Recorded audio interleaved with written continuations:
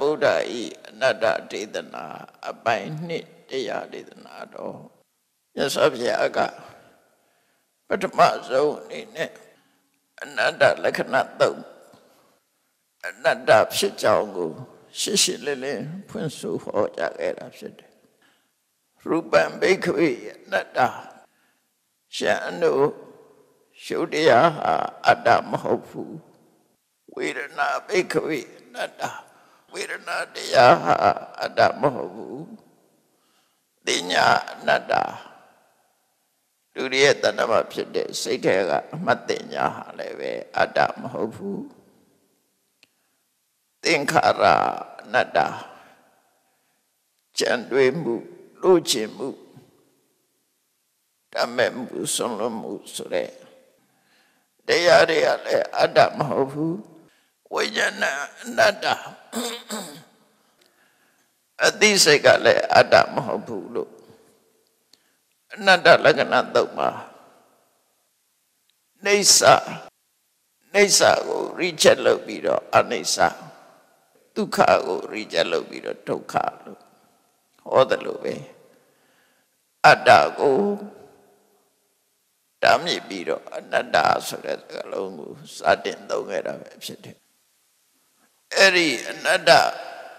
အနတ္တလို့ပြောရတော့အကြောင်းအတ္တမဟုတ်ဘူးလို့ပြောတယ်လဲဆိုရင်ရှုထောင့်နှစ်ခုကနေမြတ်စွာဘုရားအတ္တမဟုတ်ဘူးလို့ပြောတာဒီပါဠိတော်အရာအဲ့တော့အတ္တနဲ့ပတ်သက်လို့ကတွေးတော်ကြံစီမှုတွေအိန္ဒိယဖလို့ဆိုပြီးပါအများကြီးရှိတာပေါ့ ဆိုးလို့လည်းဘာသာပြန်ကြတယ် spirit လို့လည်းဘာသာပြန်ကြတယ်ဝိညာဉ်ခေါင်းလိပ်ပြခေါင်းလို့လည်းဘာသာပြန်ကြစီဝလို့လည်းဘာသာပြန်ကြတယ်ပုဂ္ဂလအတ္တ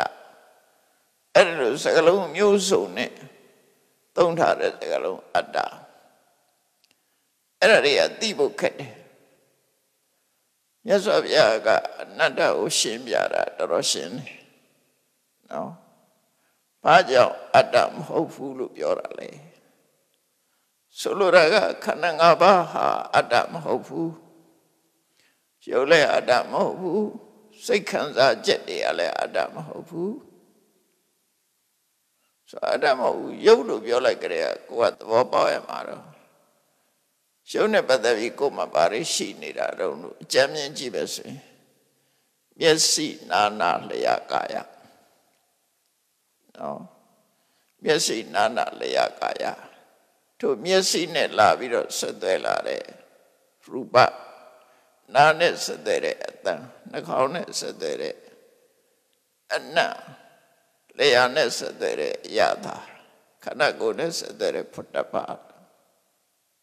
အထီးတွေ့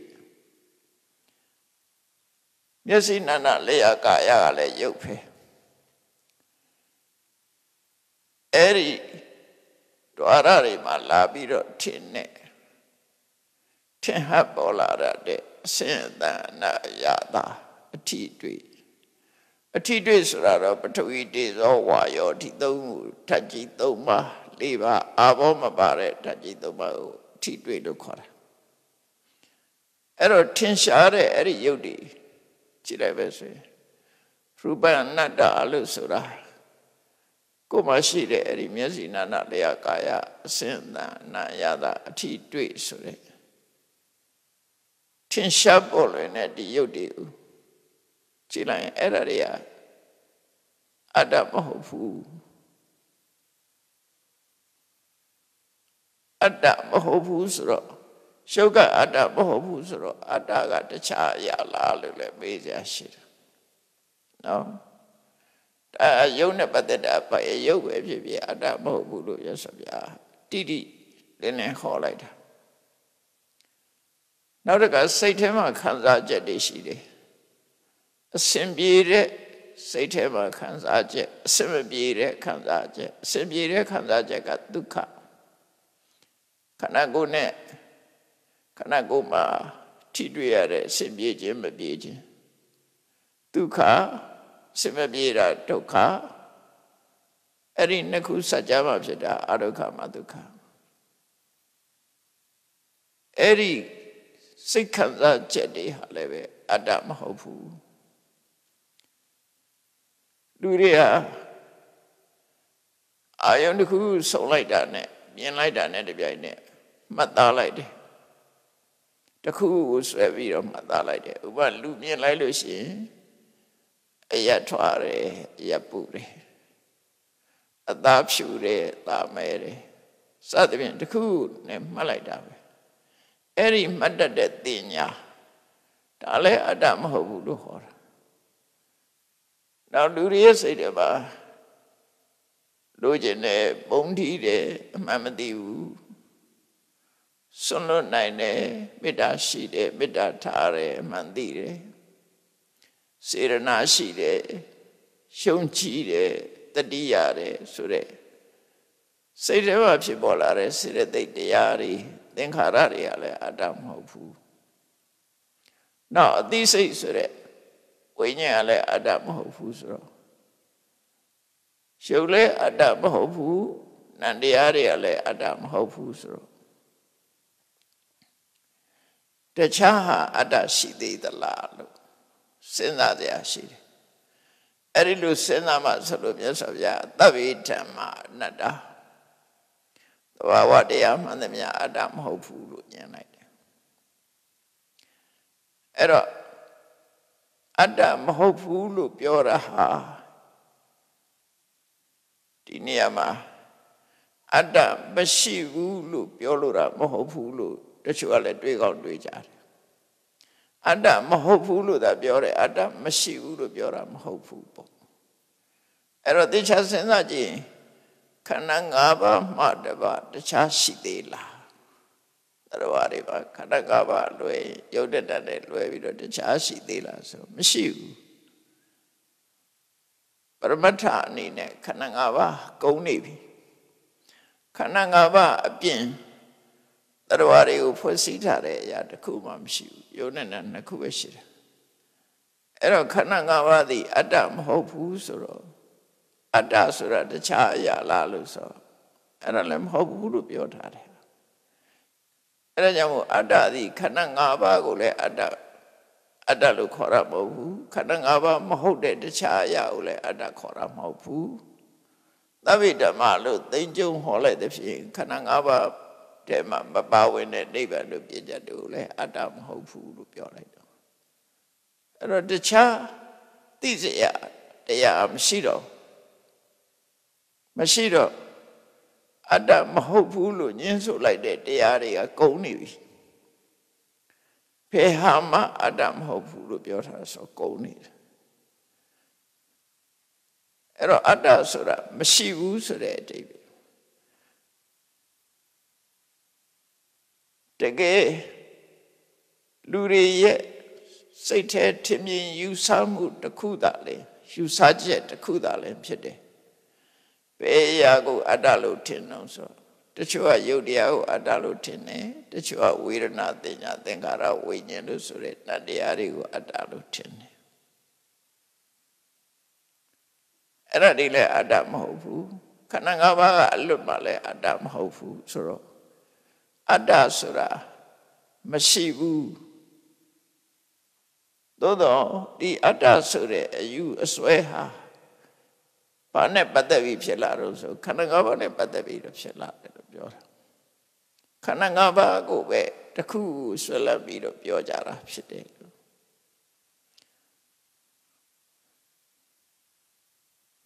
သစ်ပင်ကိုရှာလိုက်တဲ့အခါမှာအမြင့်တို့ပင်စီတို့ အကိုင်းခက်အခွန်ခေါက်အပွင့်အသီးပဲတွေ့ရတယ်သစ်ပင်ဆိုတာမတွေ့ဘူးတခုစီခွဲဆိုင်လိုက်တဲ့အခါသစ်ပင်ဆိုတာပျောက်သွားတယ်အဲ့ဒါမျိုးလိုပဲရှုပ်တည်နတ်တွေကိုခွဲစိတ်ဖြာပြီးတော့ကြည့်လိုက်တဲ့အခါအတ္တဆိုတာဘယ်နေရာမှရှာမတွေ့ဘူးအဲ့ဒါရှာမတွေ့တာမဟုတ်အတ္တဆိုတာကိုမြတ်စွာဘုရားကလက်ခံထားတာမဟုတ်ဘူး အဲ့ဒါနဲ့ပတ်သက်ပြီးတော့မေကွန်းနှစ်ခုရှိတယ်ဒီမေကွန်းကအတ္တကိုလက်ခံထားတဲ့ပုဂ္ဂိုလ်တွေကမေးတဲ့မေကွန်းသူတို့ကအတ္တရှိတယ်လို့လက်ခံထားတဲ့ပုဂ္ဂိုလ်ကမေးတာအဲ့ဒီမေကွန်းကအဋ္ဌိအတ္တာနတ္ထိအတ္တာဆိုလိုတာကတာမန်ကြည့်မယ်ဆိုရင်အဋ္ဌိအတ္တာဆိုတာ အတ္တရှိသလားလို့မေးတဲ့မေကွန်းလို့ထင်ရတယ်သို့တော့အဲ့လိုမေးလို့တာမဟုတ်ဘူးတဲ့အတ္တတိသာဝရရှိသလားလို့ဆိုလိုတာအတ္တတိအမြဲရှိသလားအဋ္ဌိအတ္တအတ္တဟာအမြဲရှိတာလားအတ္တကိုတော့လက်ခံထားပြီးသားသူကအတ္တကိုလက်ခံထားပြီးသားသို့တော့အဲ့ဒီအတ္တသည်အဋ္ဌိအမြဲရှိတာလားအတ္တနတ္ထိအတ္တ အတ္တသည်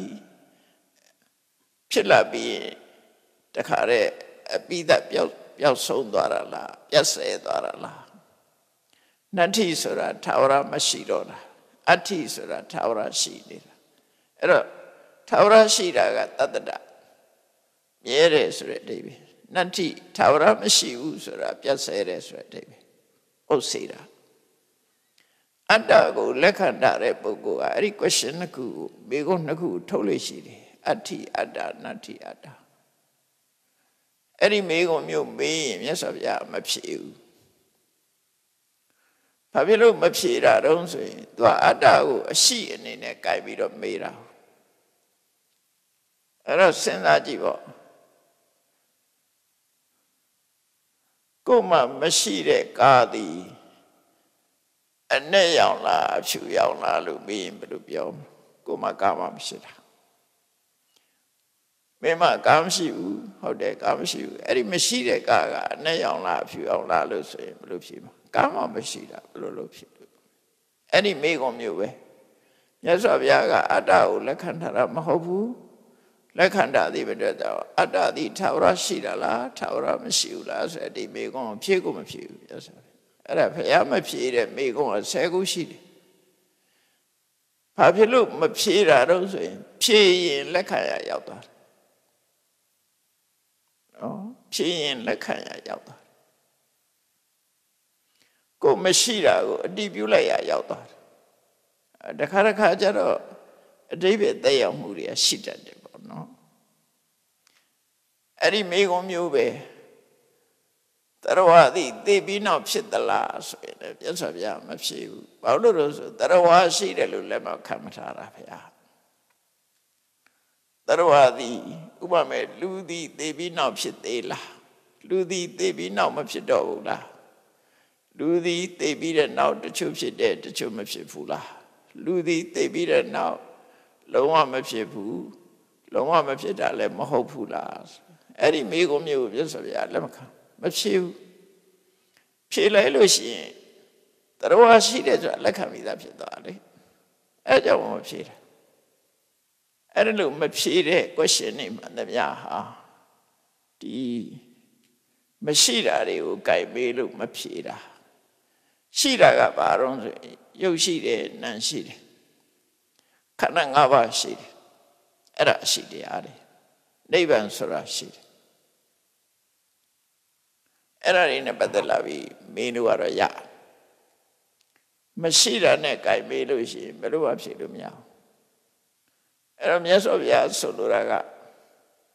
ခန္ဓာ၅ပါးသည်အတ္တမဟုတ်ဘူးဆိုတာဘယ်ရှုထောင့်ကနေပြီးတော့အတ္တမဟုတ်ဘူးလို့ပြောတာတော့လို့ဆို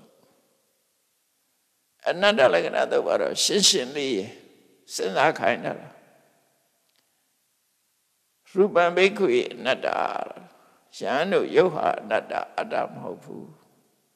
ဆိုပြီးတော့စဉ်းစားခိုင်းတာရူပင်းစာဟိတဘိက္ခွေအတ္တအဝိဒါအကယ်၍ယုတ်ဟာအတ္တဖြစ်မဲ့ဆိုရင်နာဟိတရူပအာဘာဒယတဝတ္တေယအတ္တဆိုလို့ရှိရင်ဒီဟုတ်ဟာနှိမ့်ဆက်မှာမဟုတ်ဘူးပေါ့အတ္တဆိုတဲ့အရာဒီ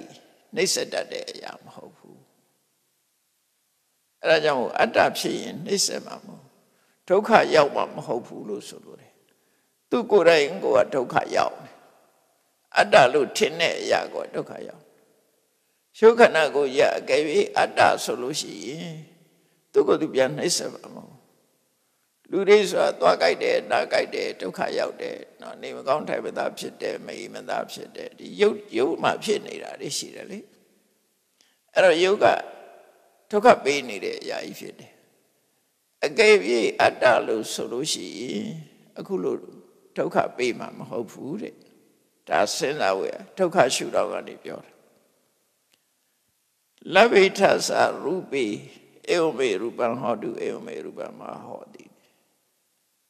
အကယ်၍အတ္တဖြစ်မဲ့ဆိုရင်ရှုပ်တရားအပေါ်မှာကိုချုပ်ကင်လို့ရလိမ့်မယ် ကိုကြိုက်တယ်လို့ပြောင်းလဲလို့ရမယ်ငါယုတ်ကဒီလိုဖြစ်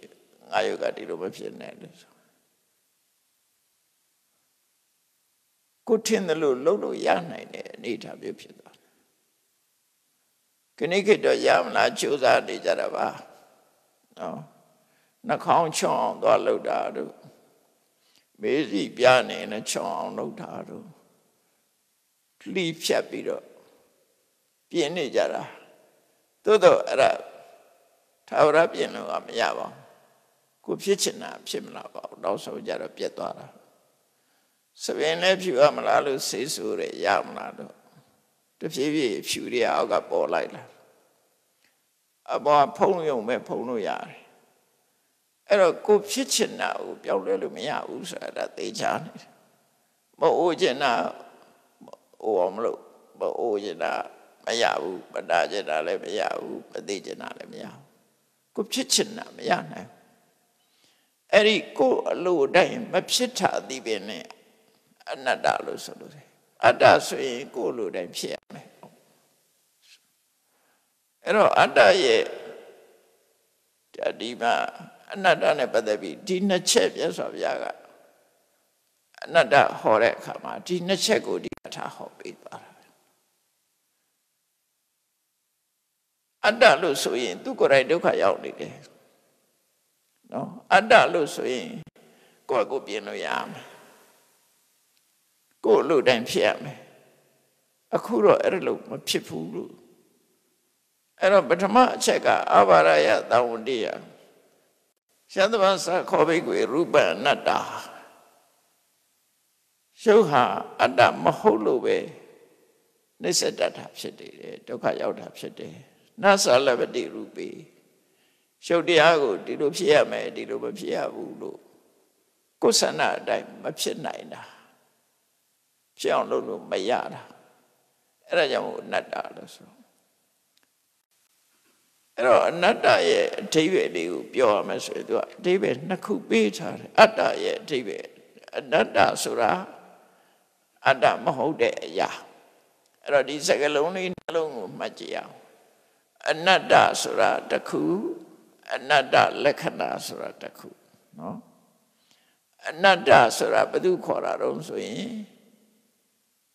ရှုံးနံကိုခေါ်တယ်တနည်းအားဖြင့်ခန္ဓာ၅ပါးကိုအနတ္တလို့ခေါ်တယ်ခန္ဓာ၅ပါးသည်အတ္တမဟုတ်အနတ္တခန္ဓာ၅ပါးသည်အတ္တမဟုတ်အနတ္တအနတ္တလက္ခဏာ အနတ္တလို့ဘာကြောင့်ပြောနိုင်တာတုံးလို့အကြောင်းပြတဲ့အခါမှာဒီနေရာမှာတော့သူကအဝတ္တဝတ္ဝတ္တနာတော်အဝတ္တဝတ္တနာတော်ကိုယ်အလိုမလိုက်လို့တဲ့ဒါအကြောင်းပြပဲခန္ဓာငါးပါးသည်ကိုယ်စိတ်တိုင်းကြဖြစ်အောင်လုပ်လို့မရလို့တဲ့အဲ့ဒါကြောင့်မလို့အနတ္တလို့ အဲ့တော့အတ္တဆိုတာဟာကိုယ်လိုချဖြစ်တာကိုဆိုလို့တယ်ပေါ့အတိပ္ပယ်ကနော်အဲ့တော့ဘာသာပြန်တဲ့အခါကျတော့အတ္တကိုငါလို့လည်းပြန်ကြတယ်ငါလို့ပြန်ကြတယ်ကိုလို့လည်းပြန်ကြတယ်အဲ့တော့ဒီတိုင်းဆိုလို့ရှိရင်အတ္တဆိုတာဝတ္တဝတ္တနာကိုလို့တိုင်းလိုက်တဲ့အရာ ကိုယ်စိတ်တိုင်းညဖြစ်နိုင်တဲ့အရာသည်အတ္တခန္ဓာဘ၅ပါးသည်ကိုယ်စိတ်တိုင်းညမဖြစ်နိုင်သောကြောင့်အနတ္တအဲ့လိုဆိုလို့အဲ့ဒီရှုအဲ့ဒီရှုတော့ကနေပြီးဒါအိုရှင်အဲ့တော့အနတ္တလက္ခဏာဆိုတာဘာလို့ဆိုရင်ကိုယ်အလိုတိုင်းမဖြစ်တဲ့အနေထား ကိုယ်လိုတိုင်းမဖြစ်တဲ့အခြေအနေသည်အနတ္တရဲ့အမှတ်သားပဲဖြစ်တယ်အဲ့ဒါအနတ္တလက္ခဏာကိုယ်လိုတိုင်းမဖြစ်တဲ့ခန္ဓာ၅ပါးသည်အနတ္တကိုယ်အလိုတိုင်းမဖြစ်နိုင်တဲ့အနေထားသည်အနတ္တလက္ခဏာသူရဲ့အမှတ်သားလို့ပြောလို့တာနော်ခန္ဓာ၅ပါးသည်ကိုယ်လိုတိုင်းမဖြစ်လို့အနတ္တ အဲ့ဒီကိုယ်လိုတိုင်းမဖြစ်ဘူးဆိုတဲ့အခြေအနေသည်အနတ္တလက္ခဏာအရှုတော်ကဒီလိုဆိုလို့ရပါအဲ့ဒါဝိသုဒ္ဓိမဲ့တို့ကြတော့အနတ္တနဲ့အနတ္တလက္ခဏာကိုအဲ့လိုခွဲပြီးတော့ရှင်းပြတယ်အဲ့လိုခွင့်ပြနော်လက္ခဏာဆိုတာအမှတ်သားပဲသူ့ရဲ့အရေးချင်းကိုဖော်ပြတာအနတ္တဆိုတာခန္ဓာ၅ပါး အနတ္တလက္ခဏာဆိုတာကြတော့အဲ့ဒီခန္ဓာ၅ပါးရဲ့ကိုယ်လိုတိုင်းမဖြစ်နိုင်တဲ့အနေအထားမဖြစ်နိုင်ခြင်းအဲ့လိုဆိုလို့ပဲမဖြစ်နိုင်ခြင်းအဲ့ဒါကိုယ်လိုတိုင်းမလိုက်ခြင်းအဲ့ဒါအနတ္တလက္ခဏာပဲအဲ့ဒါဆိုလို့ပဲပေါ့နော် အဲ့တော့အဲ့ဒီလိုစဉ်းစားစရာလေးတွေကိုပေးထားတယ်စဉ်းစားစရာလေးတွေကိုပေးထားတယ်ပါပြီးတော့မြတ်စွာဘုရားကအနိစ္စဒုက္ခအနတ္တဒီသုံးခုဆက်ပြီးတော့ဟောထားတာတစ်ခုနဲ့တစ်ခုဆက်ဟောထားတယ်အနိစ္စရှုတော့ကလည်းပြောတယ်ဒုက္ခရှုတော့ကလည်းပြောတယ်အနတ္တကိုပြောတဲ့အခါမှာ ယတနိစ္စံတန်ဒုက္ခအနိစ္စရဲ့အကြောင်းတရားကတော့ဖြစ်ပြီးရင်ပျောက်ကွယ်သွားတယ်လို့ဖြစ်ချင်းပြက်ချင်းအနေရှိလို့ပြောင်းလဲတတ်လို့အခိုက်အတန့်လေးတည်တာမို့မမြဲဘူးလို့ပြောတာသာဝရတည်မြဲခြင်းရဲ့ဆန့်ကျင်မဲ့ဖြစ်လို့အနိစ္စ ဒုက္ခကြတော့ဘာလို့ဒုက္ခတော့ခေါ်တာတော့ဆိုရင်ဖြစ်လာတဲ့သင်္ခါရတရားဟာရွှေရှာပြောင်းလဲတာဖြစ်တည်ပြက်ဆိုရင်ဖြစ်လာပြီးရင်တည်တန်းနဲ့ပဲရောက်သွားတယ်တည်ပြီးလို့ရှိရင်ပျက်စီးသွားတယ်ပဲရောက်သွားတယ်သူအဲ့လိုသွားတာရှက်မနေဘူးလို့ဆိုလို့ အဖြစ်ကနေပြီးတော့အတူတူပြောလို့ဆိုရင်အဖြစ်ကနေအပြက်ကိုရောက်သွားတယ်ဖြစ်ပြီးရင်ဖြစ်ပြီးတဲ့အတိုင်းရပ်တတ်မနေဘူးပျက်စီးပြီးတော့သွားတယ်ဒါကြောင့်မို့လို့ဖြစ်မှုပြက်မှုကအမြဲတမ်းကပ်ပြီးတော့ဒုက္ခပေးနေတယ်နှိမ့်ဆက်နေတယ်ဒါကြောင့်မလို့ဒုက္ခလို့ခေါ်တယ်ပေါ့အဲ့တော့အနေဆရှုတော်ကနေကြည့်တာ ဒုက္ခလို့ပြောတာဟိုဆင်းရဲလို့ဒုက္ခပြောတာမဟုတ်ဘူးခံရခဲ့လို့ဒုက္ခလို့ပြောတာမဟုတ်ဘူးဒီနေရာမှာမမြဲတဲ့မမြဲခြင်းကြောင့်ဒုက္ခလို့ပြောတာမမြဲတဲ့အရာသည်ဖြစ်မှုပြမှုတွေကတလဇာနှိမ့်ဆက်နေလို့ဒုက္ခလို့ပြောတာနောက်တကအနတ္တလို့ပြောတာကြတော့ဘာဖြစ်သူကြတော့ ဖြစ်လာပြီးတဲ့အာကိုမပြတ်ပါစေနဲ့နော်ဆိုတော့မွေးလာပြီးရင်မအိုးစေရဘူးမွေးလာပြီးရင်မသေးစေရဘူးလို့လို့မရဘူးလေလူဆိုလို့ရှိရင်မွေးလာပြီးရင်အိုးမယ်အိုးပြီးရင်သေမယ်အဲ့ဒီချက်မှာကိုယ်လိုတိုင်းဘာတစ်ခုဖြစ်လဲဘာတစ်ခုမှမဖြစ်ဘူး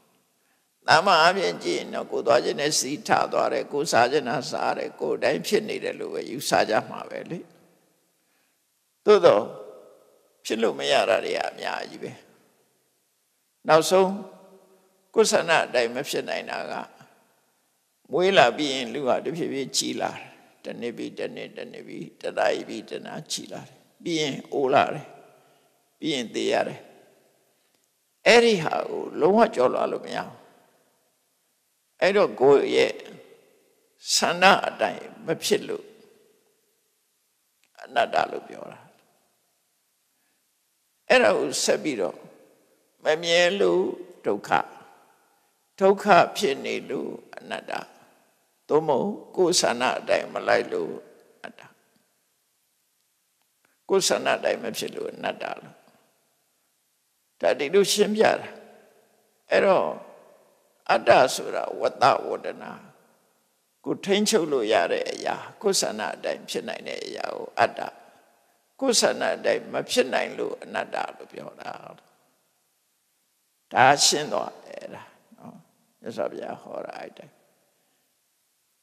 ဒါပေမဲ့လို့တော်တော်များများရှင်းလင်းဖော်ပြတဲ့အခါမှာအနိစ္စဒုက္ခကိုရှင်းလင်းဖော်ပြတဲ့အခါမှာတခြားနည်းတွေနဲ့လည်း ရှင်းလင်းဖော်ပြတာရှိတယ်အနိစ္စနဲ့ဒုက္ခကတော့ရှင်းတယ်အနတ္တကိုဖော်ပြတဲ့အခါမှာအတ္တဆိုတာဘာလဲဆိုတော့အတ္တဆိုတာကာရကပြုလုပ်သူပြုလုပ်သူဆိုတာစကားပြောတာအလုတ်လှုပ်တာငိုတာရီတာအလုတ်ကိစ္စတွေကိုလှုပ်တာ နော်စိတ်ခံစားတာအဲ့ဒီလှုပ်သူပြုလုပ်သူအဲ့ဒါကိုအတ္တလို့ခေါ်တယ်ပြီးတော့အကျိုးတရားကိုခံစားသူကိုအဲအတ္တလို့ခေါ်တယ်ပြုလုပ်သူကလည်းအတ္တခံစားသူကလည်းအတ္တနောက်တစ်ခုအတ္တဆိုတာခဏခဏ၅ပါးကိုခေါ်တာမဟုတ်ဘူး ခဏ၅ပါးထဲမှာမိပြီးတော့ခဏ၅ပါးကိုခဏ၅ပါးထဲမှာအမြဲရှိနေတဲ့အရာဝတ္ထုတစ်ခုလို့ဆိုလို့ဆိုပါစို့ဆိုးတို့ဝိညာဉ်ကောင်းတို့လက်ပြကောင်းတို့ဒါကြံတွေးတာနော်အတွေးထဲမှာအဲ့လိုတွေယူဆတယ်အတ္တဆိုတာရှိနေတယ်ဥပမာမြင်းတယ်ဆိုတဲ့အခါမှာစဉ်းစားကြည့်လေမြင်းတယ်ဆိုတာလူတွေကပြောတယ် ငါမြင်တယ်ငါမျက်စိနဲ့မြင်တယ်ငါမျက်စိနဲ့ငါမြင်တယ်မြင်ချင်းကိစ္စကိုလောက်တာဘာတူလဲငါပဲလို့ပြောတယ်အဲ့ဒီနေရာမှာဆန်းစစ်ကြည့်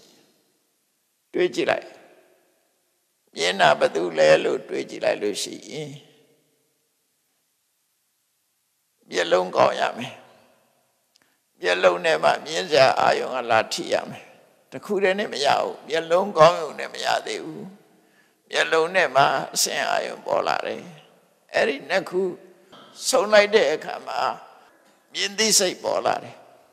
မြင်နေဆိုတာအဲ့ဒီမြင်သိစိတ်ကမြင်တာဒါမို့စာပေမှာရေးတဲ့အခါမှာစက္ခုနာမျက်စိဖြင့်ရူပံအစင်းကိုပတ္တိမြင်ဤဆိုအဲ့ဒီမှာကတ္တဘယ်သူလဲ subject ကဘယ်သူလဲ ဆိုပါစို့ပုရိသောယောက်ျားသည်အဋ္ဌိအမျိုးသမီးသည်စက္ခုနာမျက်စိဖြင့်ရူပံအစင်းကိုပတ္တိမြင်ဤဆိုပါစို့အဲ့လိုပြောမှဆိုလို့ချင်းပုရိသောနဲ့အဋ္ဌိအမျိုးသားအမျိုးသမီးကတ္တဖြစ်နေတကယ်ကမြင်တာအမျိုးသားအမျိုးသမီးဆိုတာမရှိဘူးရှိနေတာကဘာလို့ဆိုမျက်စိရှိတယ် မျက်စိနဲ့မြင်ရတဲ့အစဉ်အာရုံရှိတယ်ဒီနှစ်ခုစုံလိုက်မှပေါ်လာတဲ့မြင်သိစိတ်ကလေးရှိတယ်အဲ့သုံးခုစုံမှမြင်နေဆိုတာဖြစ်တာအဲ့သုံးခုကလွဲပြီးဘယ်သူရှိသေးတုံးဘယ်သူမှမရှိဘူးတခြားအဲ့ဒီသုံးခုစုံပြီးတော့မြင်တာကိုပဲငါမြင်နေသူမြင်နေအမျိုးသားမြင်နေအမျိုးသမီးမြင်နေဖြစ်လာတာ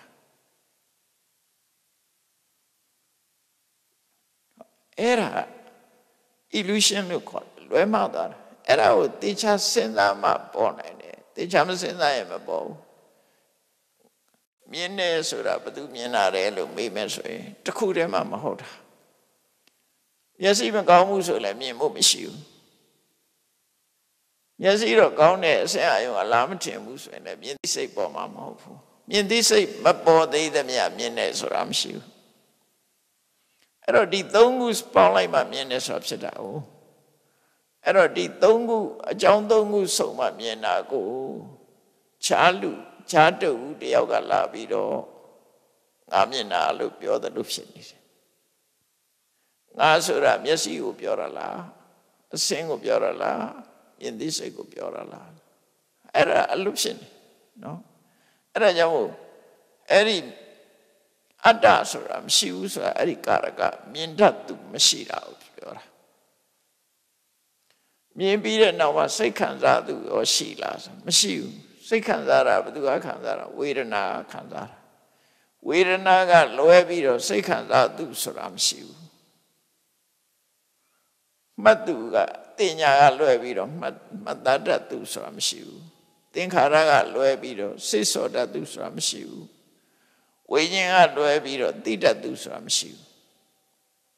အလုံးဟာဒီရှုပ်တရားနဲ့နန္တရားပေါင်းစပ်ပြီးတော့ဖြစ်လာတာတွေသာဖြစ်တယ်ရှုပ်နံကလွဲရင်ခန္ဓာ၅ပါးလွဲရင်တခြားဘာမှမရှိဘူးအဲ့တော့ဒီခန္ဓာ၅ပါးကိုပဲခန္ဓာ၅ပါးဖြစ်မှုသာလည်းရှိတယ်နော်အဲ့ဒီခန္ဓာ၅ပါးကလွဲပြီးခုနက မြင်တတ်သူကာရကခံစားတတ်သူဝေရကဆိုတာမရှိဘူးဒါမရှိဘူးဆိုတာသိကြအောင်အတော်စဉ်းစားရမယ်နော်စဉ်းစားတဲ့အခါမှာခုနမြင်နေဆိုတာဘာလဲဆိုတာကိုကြည့်ပြီးပြောအောင်အဲ့ဒါလို့စစ်ဆေးလိုက်လို့ရှိရင်အလုံးကပူပေါင်းဆောင်ရွက်နေတာလို့သာပြောတယ်ဒီကြားထဲမှာတရားမှမရှိဘူးနော် အဲ့တော့အဲ့ဒီသဘောတွေကိုစဉ်းကျင်စဉ်းစားနိုင်မှအနတ္တဆိုတာပေါ်တယ်တဲ့အကယ်၍အဲ့ဒါကိုမစဉ်းစားနိုင်လို့ရှိရင်အနတ္တလက္ခဏာဆိုတာမြင်မှုခက်တယ်အဲ့ဒါနဲ့ပတ်သက်ပြီးဝိသုဒ္ဓိမဲ့မှာပြောထားတာအနတ္တမမြင်အောင်ဘာကဖုံးကွယ်ထားသလဲအနတ္တလက္ခဏာကိုယ်လိုတိုင်းမဖြစ်ဘူးဆိုတဲ့ အခြေအနေတစ်ခုမမြင်ရအောင်ဘယ်သူကဘယ်သူကဖုံးကွယ်ထားသလဲလို့ဆိုရင်တဘာဝတရားတွေကိုခွဲခြားစိတ်ဖြာမှုကိုစိတ်ထဲမှာမထားဘူးစိတ်ထဲမှာနှလုံးမသွင်းပြီးတော့တဘာဝတရားတွေဟာတခုတည်းကဲ့သို့ဖြစ်သွားပြီး အဲ့ဒီတခုတည်းကဲ့သို့ထင်ရတဲ့အရာက ဖုံးကွယ်လိုက်သည့်အတွက်ကြောင့်အနတ္တလက္ခဏာမပေါ်ဘူးဆိုပါစို့မြင်နေဆိုတာခုနဆန်းစစ်ကြည့်လိုက်တယ်မြင်နေဆိုတဲ့နေရာမှာမျက်စိကောင်းတယ်မျက်စိကောင်းယုံနဲ့လည်းမမြင်သေးဘူးမျက်စိမှာအစင်အာယုံလာထင်တယ်မျက်စိကတစ်ခုအစင်အာယုံကတစ်ခုသူတို့နှစ်ခုဆုံလိုက်မှဘွားကနေဖြစ်လာတဲ့မြင်သိစိတ် အဲ့ဒီသုံးခုရှိတယ်ဆိုတာခွဲခြားစိတ်ဖြတ်မှုမသိလို့ရှိရင်ငါမြင်နေဆိုတာလုံးချလိုက်တာအဲ့ဒီမှာငါမြင်နေလို့ပဲပြောလိုက်တော့တာတကယ်ကတော့အသီးသီးသူ့နဲ့သူလုံးနေကြတာမျက်စိကလည်းကောင်းရမယ်အစင်အာယုံကလည်းရှိရမယ်အစင်အာယုံနဲ့မျက်စိစုံမိရမယ်စုံမိမှမြင်သိစိတ်ဆိုတာပေါ်တယ်မြင်သိစိတ်ပေါ်မှမြင်တယ်ဆိုဟော ဒီကြားထဲမှာဒါအကျမ်းမြင်ပြောတာနှလုံးသွင်းမှုဆိုတာပါသေးတယ်နော်စိတ်တွေကနှလုံးသွင်းမှုကလည်းပါသေးတယ်စက္ခလောကရူပထင်ပြီးမတတိလေးလိစက္ခုကိုဆိုတာမျက်စိကမြင်တယ်လို့ပြောဖို့ရမျက်စိကောင်းမှုလို့တယ်နော်မျက်စိကောင်းတယ်မရသေးဘူးအစင်အာယုံအလားထင်ဟာတာဖြစ်ရမယ်အဲ့ဒီမျက်စိနဲ့အစင်အာယုံကြမှာ အစင်အာယုံနဲ့ပတ်သက်ပြီးတော့အလင်းရောင်ကလည်းရှိရမယ်လုံလောက်တဲ့အလင်းရောင်ရှိရမယ်ပြီးတော့နှလုံးသွင်းမိမှုရှိရမယ်အဲ့ကြတော့မြင်နေဆိုတာဖြစ်တာဆိုလိုတာအဲ့ဒါလို့ဆိုလိုတယ်နော်အဲ့ဒီလိုခွဲခြားစိတ်ဖြာပြီးတော့ကြည့်လိုက်တဲ့အခါကျတော့ငါမြင်တယ်လို့ပြောနေတဲ့လူတယောက်ငါဆိုတာဘယ်သူကိုပြောတာတော့ဆိုလိုက်ရှာလို့ငါရှာလို့မရတော့ သူမြင်တာပါလို့ပြောရင်လည်းပဲသူဆိုတာဘယ်သူကိုပြောတာတော့လိုက်ရှာလို့မရဘူးလက်တွေ့ရှာလို့ရတာပါနဲ့ပါတော့မျက်စိကိုရှာလို့ရမယ်မြင်တဲ့အရာကိုရှာလို့ရမယ်အဲ့ဒီနှစ်ခုစုံပြီးတော့ဖြစ်လာတဲ့မြင်သိစိတ်ကိုရှာလို့ရမယ်နှလုံးသွင်းမှုဆိုတဲ့နံတရားကိုရမယ်အလင်းအောင်ဆိုတာရမယ်ဒါပဲရမယ်လေအဲ့ဒါတွေကိုခွဲခြားစိတ်ဖြာမကြည့်ပဲနဲ့နေလို့ရှိရင် တခုတည်းကဲ့သို့ဖြစ်သွားတာဟိုကဏလို့ခေါ်တယ်ခါကြီးနဲ့နာငယ်နဲ့ရေးတဲ့ကဏခဏဆိုတာ compactness သူကအစိတ်အစိတ်စိတ်ရှိပေမဲ့လို့တခုတည်းလို့ဖြစ်သွားတာအဲ့တော့ဘုန်းကြီးတို့ဝတ်နေတဲ့အဝတ်ကိုပဲကြည့်လိုက်ဝတ်နေတဲ့အဝတ်ဒီတိုင်းကြည့်ရင်အဝတ်တခုတည်းလို့ထင်တယ်မဟုတ်လားတကယ်သေးချကပ်ပြီးတော့မမလူနဲ့ကြည့်လို့ရှိရင် ခြေချောင်းလေးတွေခြေချောင်းလေးတွေပေါင်းထားတာသေချာကြည့်ပေါင်းထားတာနော်တခုတည်းမဟုတ်ဘူးခြေမြင်လေးတွေအများကြီးကိုစုပေါင်းထားတာလူရဲ့ခန္ဓာကိုယ်လည်းတာမန်အပြင်ကြည့်မယ်ဆိုရင်ဒီပုံစံကြီးတို့ထင်အကောင်းနဲ့မမလူနဲ့ကြည့်ရင်သံစကားပေါက်ကြီးတွေလို့စာစာပေါက်ကြီးလို့လူခန္ဓာကိုယ်အပေါက်တွေချင်းကတော့မြင်ကောင်းမြင်ရလိမ့်မယ်အဲ့မှာချင်းကြိုက်တယ်ဆိုတာအဲ့ဒီပေါက်ကနေစုပ်တာသူက မွေးညင်ပေါက်တွေရှိတယ်ကြည့်လိုက်မဲ့ဆိုလို့ရှိရင်သူကတခုတည်းကဲလို့ထင်ရပေမဲ့လို့တခုတည်းမဟုတ်ဘူးပကြီးရေးထားတဲ့ပုံဝတ္ထုတစ်ခုကိုဒီတိုင်းကြည့်မယ်ဆိုရင်အာဒါကလူပုံမယ်ဒါကဘာပုံမယ်လို့ထင်ရတယ်အဲ့ဒါကိုအစာပေါင်းများစွာကြည်တယ်မှန်မလူကြီးနဲ့ကြည်လိုက်လို့ရှိရင်အပြောက်တွေပဲတွေးမယ်ပုံတွေးမှာမဟုတ်ဘူးတော့ ပုံမြင်နေတဲ့ကလူစိတ်တွေမှာဘာဖြစ်တော့အာဒါမြို့သမီးပုံမဲ့ဒါသစ်ပင်ပုံမဲ့ဒါဖရာပုံမဲ့နေဖြစ်တယ်ကြည့်လိုက်လို့ရှိရင်အပြောက်စက်တွေကြီးပဲအကုန်လုံးတခုတည်းမဟုတ်အမုံတွေစုထားတာလို့ဖြစ်နေ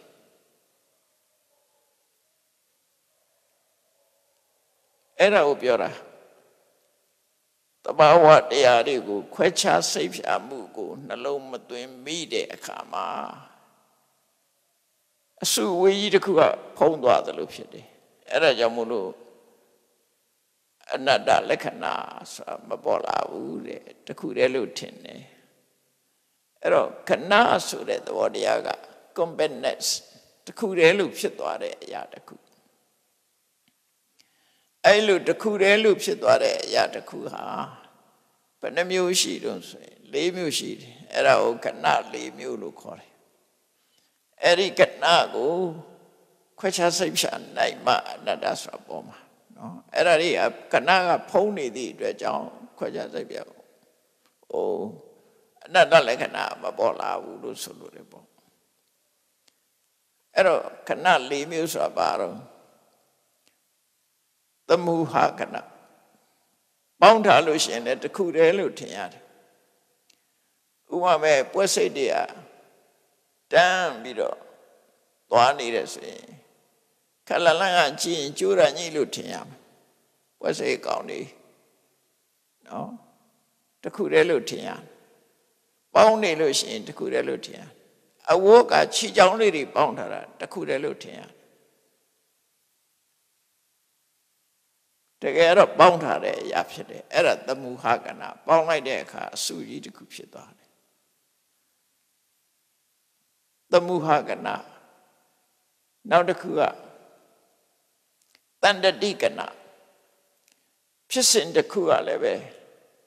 ဖြစ်စဉ်တစ်ခုဆိုတာအကြောင်းအရာတစ်ခုကဆက်လက်ပြီးတော့ဖြစ်ပေါ်နေတယ်အခုမှမဲ့တရားဟောနေတယ်ဆိုတရားဟောတဲ့ဖြစ်စဉ်ကဘယ်နှနာရနေဘယ်နှနာအထိတရားဟောတယ်ဆိုတာဖြစ်စဉ်တစ်ခုပဲအဲ့ဒီဖြစ်စဉ်တစ်ခုကိုလည်းပဲအသေးစိတ်အခုပြောနေတဲ့အတန်တွေကို ပြတ်တောက်သွားတဲ့ဟာအစိတ်တစ်ခုစီတစ်ခုစီချုပ်ပြက်နေတာကိုမစင်စားပဲနဲ့နေမယ်ဆိုလို့ရှိရင်အတန်မဆဲပြောနေတယ်လို့ပဲထင်တာနော်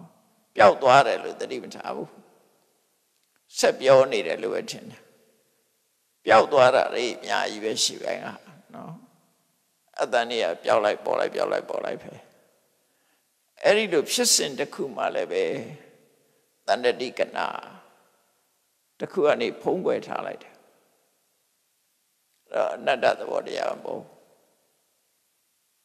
နောက်တစ်ခုကျတော့ကိစ္စကနာမျက်စိတို့ဆင်းအာယုံတို့ဆုံးတဲ့အခါမှာအလုံးနန္တရားတွေကစုပြီးအဲ့ဒီအစင်အာယုံပေါ်မှာစုပြီးကြည်နေကြတာမျက်စိကလည်းအဲ့ဒီကိုအာယုံဆိုင်တယ်အသိစိတ်တွေကလည်းအားလုံးအဲ့ဒီမှာအာယုံဆိုင်နေတယ် ကိစ္စဆောင်ရွက်တဲ့ကိစ္စကလည်းတခုတည်းပဲဘယ်ကိစ္စတော့မြင်ချင်းကိစ္စကိုဆောင်ရွက်နေမျက်စိပါတယ်အစင်အာယုံပါတယ်မြင်သိစိတ်ပါတယ်နှလုံးသွင်းမှုပါတယ်အဲ့ဒီစိတ်တွေအားလုံးဟာဒီကိစ္စတစ်ခုတည်းကိုလုပ်နေကြတာအဲ့ကြတော့တစ်ခုတည်းလို့ဖြစ်သွားပြန်အဲ့ဒါကိုကိစ္စကဏလို့ခေါ်တယ်အာရမဏကဏဆိုတာမြင်သိစိတ်က မြင်ထားတဲ့အာယုံတစ်ခုပေါ်မှာအလုံးစိတ်တွေကစေနန္တရားတွေဝိုင်းပြီးတော့အလုံးလုံးနေကြတယ်အာယုံတစ်ခုတည်းနဲ့နေနေကြတယ်ဟိုရုပ်ရှင်ကြည့်ရင်ရုပ်ရှင်ကြည့်နေတဲ့အာယုံတစ်ခုတည်းနဲ့နေတယ်တချင်းနားထောင်နေနားထောင်နေတာတစ်ခုတည်းနဲ့နေတယ်အဲ့ဒါလည်းကဏတစ်ခုပဲအဲ့ဒါအာရမဏကဏဖြစ်သမျှစိတ်တွေအကုန်လုံးအဲ့ဒါနဲ့ဆက်ဆံနေအဲ့ဒီကဏဆိုတဲ့စုယုံထားတဲ့ အနေထားကြီးတစ်ခုကဖုံးကွယ်ထားသည့်အတွက်ကြောင့်ကိုလိုလိုဖြစ်နေတယ်လို့ထင်တဲ့ဖြစ်နေသည့်အတွက်ကြောင့်အနတ္တသဘောအနတ္တလက္ခဏာမပေါ်ဘူးတဲ့မပေါ်တော့ပေါ်အောင်မလုပ်ရမလဲဆိုလို့ရှိရင်ခွက်ချစိတ်ပြကြည့်လိုက်ခုနငါမြင့်နေဆိုတာငါဆိုတာဘာလို့လဲမျက်စိလားဒီဒီမြင်နေဆိုတဲ့ထဲမှာပါဝင်နေတာတွေကလိုက်ကြည့်လိုက် တခုစီလိုက်ကြည့်လိုက်ရင်သူကိစ္စသူလုပ်နေကြတာဟောဥမာမဲ့ကားတစီးကလမ်းပေါ်မှာပြေးနေတယ်တမန်အဖြစ်ပြောမယ်ဆိုရင်ဒရိုင်ဘာကားမောင်းလို့ကားပြေးနေတယ်လို့ပြောမှာဒရိုင်ဘာတယောက်တည်းလှုပ်လို့ရလားမရဘူးနော်ပြေးနေတာဘိန်းကြောင့်ဘိန်းပါတယ်အင်းရင်ပါတယ်ဓာတ်စီပါတယ်ဓာတ်စီကုန်သွားရင်ကားရမယ်နော် ကျိုးတစ်ချောင်းပြုတ်သွားရင်လည်းကားရမှာဘက်ထရီတောင်းနေရင်လည်းပဲဆက်နိုးလို့ရမှာမဟုတ်ဘူးအဲ့တော့အားလုံးပေါင်းထားတာအားလုံးပေါင်းပြီးတော့ညီလူညီမြသူ့လို့သူ့လုံးနေကြတာဒရိုင်ဘာလုံနိုင်တာကမောင်းခြင်းကိစ္စတစ်ခုပဲသူလုပ်တာစတီယာရင်ကင်ပြီးတော့သူမောင်းတာတစ်ခုပဲရှိတယ်ဓာတ်စီကဓာတ်စီအလုပ်လုပ်တယ်အင်ဂျင်ကအင်ဂျင်အလုပ်လုပ်တယ်ဘက်ထရီကဘက်ထရီအလုပ်လုပ်တယ် ကားပိန်ကပိန်လို့လုပ်တယ်ကားဘော်ဒီကဘော်ဒီလို့လုပ်တယ်အဲ့ဒီပေါင်းစုပြီးတော့လုံးမကားတစ်ခုကလမ်းပေါ်မှာပြေးသွားတာထီထဲကတစ်ခုခုချွေရင်နဲ့ပြေးလို့မရဘူးဒရိုင်မာမရှိရင်လည်းပြေးလို့မရဘူးဓာတ်စီကုန်ရင်လည်းပေါင်းလို့မရဘူးအင်ဂျင်ပြက်နေရင်လည်းပေါင်းလို့မရဘူးအနည်းဆုံးဝါယာကြိုးလေးတစ်ချောင်းအဓိကဝါယာကြိုးလေးတစ်ချောင်းပြုတ်နေတော့မောင်းမရဘူးဖိန်ကျွတ်လည်းမောင်းမရဘူး အဲ့တော့အားလုံးဟာစုပေါင်းပြီးတော့လှုပ်ဆောင်နေတယ်ဆိုတဲ့သဘောတရားကိုစဉ်းစားကြည့်မယ်ဆိုလို့ရှိရင်ဒါဒီသဘောပေါ်တယ်ပေါ့နော်အဲ့လိုခွဲခြားစိတ်ပြရမယ်လို့ပြောတယ်ခွဲခြားစိတ်ပြမှအနတ္တလက္ခဏာဟာသူ့သဘာဝအစစ်မှန်ပေါ်လာမှာဖြစ်တယ်အဲ့တော့ကိုလုံးတာတခုမှမဟုတ်ဘူးအလုံးဟာပူပေါက်ပြီးအကြောင်းညင်ညွတ်လို့ဖြစ်တာခုနတည်းကကြည့်မျက်စိကကန်းနေမယ်ဆိုရင်မရဘူး မြင်တာမဖြစ်တော့မျက်စိကတော့ကောင်းမှရဲ့အဆင်အာယုံကလမ်းမထင်ဘူးမြင်တာမဖြစ်ဘူးမျက်စိနဲ့အဆင်အာယုံမဆုံးဘူးဆိုရင်လည်းမြင်တာမဖြစ်ဘူးမြင်သိမဆုံးလို့မြင်သိစိတ်မပေါ်ဘူးဆိုရင်လည်းမြင်တာမဖြစ်ဘူးအဲမျက်စိကလည်းရှိတယ်ဆင်အာယုံနဲ့လည်းဆုံးတယ်ဒါပေမဲ့တတိမမူဘူးနှလုံးမသွင်းဘူးဆိုရင်လည်းမြင်တာမဖြစ်ပြန်ဘူးအဲ့ဒါလို့ဖြစ်တယ် အဲ့တော့အလုံးအကြောင်းတွေပေါင်းစုံမှဖြစ်တာအဲ့ဒါကြောင့်မို့လို့ဒီအကြောင်းတရားတွေဟာဒီလိုအသေးစိတ်ရှိတယ်ဆိုတာကိုစဉ္ညင်သုံးသပ်ခြင်းအပြင်အကြောင်းတရားတွေပေါင်းမှဒါဖြစ်လာတာဖြစ်သည့်အတွက်ကြောင့်ငါလုံးလို့ဖြစ်တာမဟုတ်ဘူးဆိုတာပေါ်မလားနော်ငါလုံးတာမဟုတ်ဘူးအကြောင်းတရားတွေကလှုပ်ထားတာဖြစ်တယ် ငါအလိုတိုင်းဖြစ်တာမဟုတ်ဘူးအကြောင်းတရားတွေအလိုတိုင်းသာဖြစ်တာပဲလို့အဲ့ဒါလို့ရှုမြင်မယ်ဆိုရင်အနတ္တသဘောတရားပေါ်ပါတယ်တဲ့အဲ့တော့ဝိပဿနာဆိုတာအနိစ္စဒုက္ခအနတ္တမြင်မှုဓမ္မခရင်နဲ့နော်အပေါ်ရလေးသာဟိုလွယ်တယ်လို့ထင်ရတယ်မလွယ်ဘူးသူကတော်တော်လေးခက်ခဲတယ်အဲ့ဒီမှာ ဒီအနတ္တကအနတ္တသဘောတရားနဲ့ပတ်သက်ပြီးတော့သုံးထားတာရှိတယ်အတိပ္ပယ်တစ်ခုကအနိစ္စကြတော့အနိစ္စံခယထေနာခယဆိုတာဖြစ်လာပြီးနောက်ပျောက်သွားတာနော်ဖြစ်တော့ဖြစ်လာတယ်ဖြစ်လာပြီးရင်ဒီတိုင်းနေမနေဘူးကုန်ခန်းသွားတယ်ပျောက်သွားတယ်ပြတ်သွားတယ်ဒုက္ခံဘယထေနာ ဒုက္ခကတော့ကြောက်စရာဖြစ်လာတယ်သူကဘာကြောင့်ဒုက္ခပယတ်တင်တာကြောက်ကြောက်စရာဆိုတာဘာကြောင့်ကြောက်စရာလဲလို့ဆို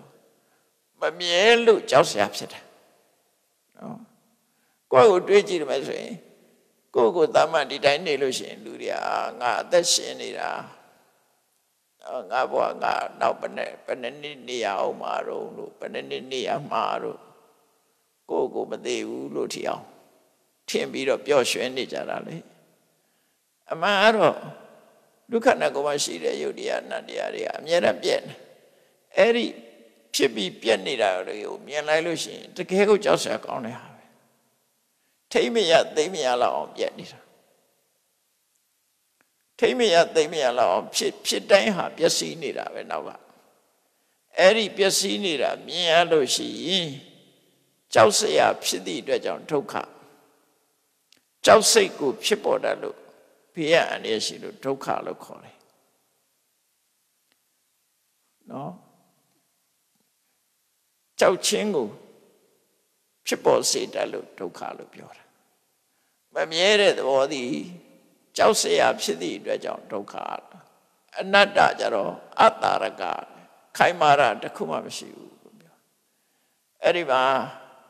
နိဝတိခန္ဓာမှာနေထိုင်သူ ကာရကပြုလုပ်သူဝေဒကအကျိုးခံစားသူတယံဝတိကိုယ်တိုင်ကိုကိုယ်ဆန္ဒအတိုင်းဖြစ်နိုင်သူလို့စိတ်ကူးရှိပေမဲ့လို့စိတ်ကူးရှိတယ်အတ္တရဲ့အနှစ်သာရအနေနဲ့စိတ်ကူးရှိပေမဲ့လို့နော်သူ့ကိုတယံဝတိကိုယ်ဆန္ဒအတိုင်းဖြစ်စေနိုင်သူ ပြုလုပ်သူခံစားသူခန္ဓာအိမ်မှာအမြဲနေသူလို့တွေးပြီးတော့ပြောပေမဲ့လို့ထင်မှတ်နေကြပေမဲ့လို့သူကသူကိုယ်တိုင်ကိုကဥမာမဲ့ရုပ်ကိုထောက်ရလို့ထင်နေတဲ့ပုဂ္ဂိုလ်ဟာသူ့ရဲ့မမြဲတဲ့သဘောဖြစ်ပြီးပြက်နေတာတွေကိုတောင်းသူကိုယ်သူမတားနိုင်ဘူးလေသူအစိုးရဖို့ဆိုတာပဲဖြစ်မှာတော့ နော်သူကိုယ်သူမပြက်အောင်သူမလုံနိုင်ဘူးလေဥပမာ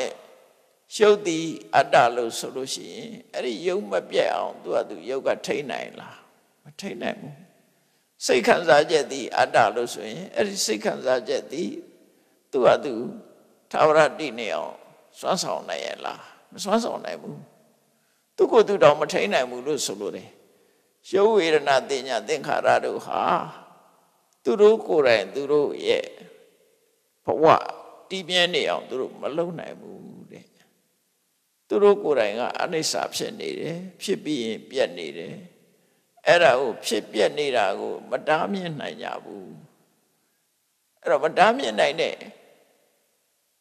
ဒီယုတ်ဝေဒနာတင်ညာသင်္ခါရဆိုတဲ့ခန္ဓာ၅ပါးဟာဘယ်လိုလုံးပြီးတော့ပြုလုပ်သူစွမ်းဆောင်သူမြင်သူနော်ဖြစ်နိုင်ပါမလဲ သူတို့မြင်တာမဟုတ်ဘူးမြင်သူလည်းမဟုတ်ဘူးပြုလို့သူလည်းမဟုတ်ဘူးပြုလို့သူကဘယ်သူတော့အကြောင်းတရားတွေခံစားသူကဘာတော့ဆိုအကျိုးပေါ်တာဝေဒနာအသာခံစားတာအလုံးဟာသဘာဝတရားတက်တက်တာဖြစ်တယ်လို့ဒီလိုမြတ်စွာဘုရားကအနတ္တနဲ့ပတ်သက်ပြီးတော့ဟောကြားရှင်းလင်းတာဖြစ်တယ်ပေါ့နော် အဲ့တော့ဒီဗုဒ္ဓရဲ့အနတ္တဒေသနာဟာနားလည်ဖို့ခက်တယ်နားလည်ဖို့ခက်တယ်တရဝမရှိဘူးလို့ပြောရင်လည်းနားလည်ဖို့ခက်တယ်ဒါကြောင့်မြတ်စွာဘုရားကပရိစ္ဆေသမုပ္ပါမှာဆိုရင်အကြောင်းတစ်ခုတည်းကိုမပြောဘူးအဝိဇ္ဇာတစ်ခုတည်းမဟုတ်ဘူးအဝိဇ္ဇာကသင်္ခါရကိုဖြစ်စေသင်္ခါရကဝိညာဉ်ကိုဖြစ်စေဝိညာဉ်ကနာနာယုတ်ကိုဖြစ်စေသူအကြောင်းနဲ့သူဖြစ် အလုံးပေါင်းလိုက်တဲ့အခါဧဝမေတ္တတကေဝလတဒုက္ခခန္ဓာတအလုံးဟာဒုက္ခအစုရဲ့ဖြစ်မှုပဲတခါချုပ်တဲ့အခါကျတော့အဝိဇ္ဇာချုပ်မှသင်္ခါရချုပ်တယ်သင်္ခါရချုပ်မှဝိညာဉ်ချုပ်တယ်ဝိညာဉ်ချုပ်မှနာယုတ်ချုပ်တယ်ဆိုချုပ်တည်ပြောလိုက်တဲ့အခါလဲဧဝမိတတကေဝတတဒုက္ခခန္ဓာတနေတော်ဟောဒီဒုက္ခအစုရဲ့ချုပ်ငြိမ်းခြင်းသာဖြစ်တယ်ဆိုအဲ့ဒီမဲ့တတဝါဆိုတာမပါဘူးဒီသဘာဝတရားတွေရဲ့ဖြစ်ခြင်းသ ဘာဝတရားတွေရဲ့ချုပ်ငြိမ်းခြင်းသဘာဝတရားတွေကိုဒုက္ခလို့ခေါ်တယ်အဲ့ဒီသဘာဝတရားတွေရဲ့ချုပ်ငြိမ်းခြင်းကိုလည်းဒုက္ခရဲ့ချုပ်ငြိမ်းခြင်းတောင်းဖို့မြတ်စွာဘုရားကငါဟောတာနှစ်မျိုးပဲဟောတယ်တဲ့ဘာဟောတော့ဒုက္ခင်စေဝပညာပေမိဒုက္ခသစ္စာនិရောဓဟောရင်တော့လည်းငါဒီနှစ်ခုပဲဟောတာတဲ့နော်မှန်တော့သစ္စာနှစ်ပါးပဲ သစ္စာနှစ်ပါးဒုက္ခသစ္စာနဲ့និရောဓသစ္စာအကျိုးသစ္စာနှစ်ခုဟောလိုက်တယ်ဖြစ်နေတဲ့သစ္စာနှစ်ခုအကျိုးသစ္စာနှစ်ခုပေါ့နော်ဒုက္ခတန်တရားထဲမှာဖြစ်နေတာဒုက္ခတန်တရားဟောကလွတ်သွားတာဒုက္ခនិရောဓအဲ့ဒီနှစ်ခုကိုဟောလိုက်တဲ့ဖြင့်သူကသူဖြစ်တာမဟုတ်ဘူးသမုဒိယကြောင့်တဏှာကြောင့်ဖြစ်တာမဟုတ်ဒုက္ခကိုပြောလိုက်ရင်အကြောင်းတရားကိုလည်းပြောပြီးသားဖြစ်တယ်တဲ့ ဒုက္ခនិရောဓကိုပြောလို့ရှိရင်လည်းချုပ်ကြောင်းကိုဘက်ကသစ္စာကိုပြောပြီးသားဖြစ်တယ်ဒုက္ခလို့ပြောလိုက်ခြင်းဖြင့်သမုဒိယသစ္စာပါသွားပြီဒုက္ခនិရောဓလို့ပြောလိုက်ခြင်းအပြင်မဂ္ဂသစ္စာလည်းပါသွားပြီအဲ့တော့မြတ်စွာဘုရားဟောတာသစ္စာ၄ပါးပဲလို့ဆိုလိုတယ်ဒါကြောင့်မို့စတုသစ္စာဝိနိမုတ်တော်ဓမောနာမနတ္ထိတဲ့အဲ့လိုဆိုကြတယ်သစ္စာ၄ပါးကလွတ်တဲ့ဓမ္မဆိုတာမရှိဘူးမြတ်စွာဘုရားဟောလို့ရင်အဓိကအဲ့ဒီသစ္စာ၄ပါးပဲတဲ့အဲ့သစ္စာ၄ပါးကိုဟောတယ်အဲ့ဒီပဲနားလေရအခက်ဆုံးကတော့သဗ္ဗေဓမ္မအနတ္တဆိုတဲ့အနတ္တတရားဟာနားလည်ဖို့ခက်တယ်ဖះပွင့်မှသာလေဒီအနတ္တဆိုတာကိုသဘောပေါက်နိုင်တယ်ဖះမပွင့်တဲ့အခါမှာအိဋ္ဌာနဲ့ဒုက္ခလောက်ပဲသိကြတယ် အိဋ္ဌာဒုက္ခသိုံနဲ့တင်တန်တရားဝကမလွတ်ဘူးတဲ့အနတ္တသိမှတန်တရားဝကလွတ်တယ်လို့အဲ့လိုဆိုတယ်နော်ဒါကြောင့်မို့မြတ်ဗုဒ္ဓရဲ့အနတ္တထေသနာဟာဘဝမှာအမှန်တမ်းထူးခြားတဲ့အသိဉာဏ်ကိုဖြစ်ပေါ်စေတာဖြစ်လို့တန်တရားဝကလွတ်ဖို့အတွက်အနတ္တရဲ့အထိပ္ပယ်ကိုရှင်းရှင်းလင်းလင်းနားလည်ပြီးတော့အနိစ္စရှုတော်ကနေပြီးတော့အနတ္တဒုက္ခရှုတော်ကနေအနတ္တ တဘာဝအတိုင်းကိုယ်လို့ကြမဖြစ်နိုင်လို့အနတ္တဆိုတယ်ရှုတော်ကတဘာဝတရားတသက်မြတ်တာဖြစ်တယ်လို့နားလည်အောင်ကျင့်ကြံကြုတ်ကိုပွားများအားထုတ်နိုင်ကြပါစေကုန်သတည်း